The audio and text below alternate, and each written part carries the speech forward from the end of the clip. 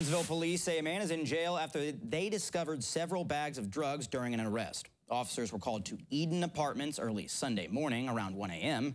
Police say that caller wanted Jimmie Banks, who you see pictured there, out of her apartment with all of his things. During a search of his belongings, officers found over a half pound of marijuana, 12 grams of meth, as well as bags of fentanyl and mushroom Belgian chocolate.